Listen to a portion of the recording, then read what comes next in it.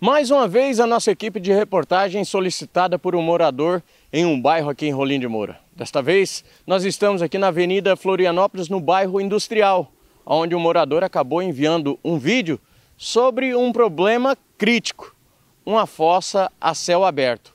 Como o nosso cinegrafista vai mostrar agora, o Emanuel Bank, olha a situação aqui. Aberta, a gente vê que é um foco aí de mosquitos, sujeira e também um perigo para um provável acidente. Você vai ver nos detalhes agora também a indignação do morador e o vídeo que ele acabou fazendo o registro e enviando para a nossa equipe. A gente mora aqui há muitos anos, tem uns 15 anos que eu moro aqui. E essa fossa vai para uns 7, 8 meses, está aberta aí toda a vida aí. Perigoso até de uma criança vir, cair aqui, bater a cabeça desse trem aí. E tá cheio de inseto aí dentro, entendeu? Aí eu fiz o vídeo mesmo, entendeu? Filmei a fossa mesmo, entendeu? Porque o cara que tem até o prédio aqui, entendeu? A fossa é dele.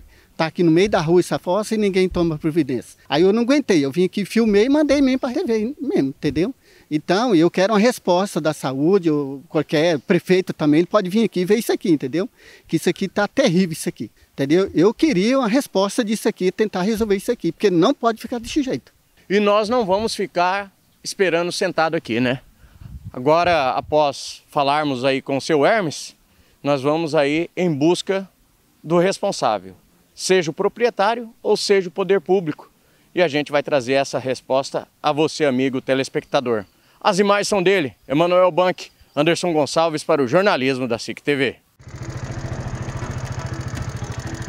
Olha aqui, ó, pouca vergonha aqui da fossa aqui, olha. Olha aqui, ó. A fossa toda estourada, perigoso uma criança cair aqui dentro, entendeu?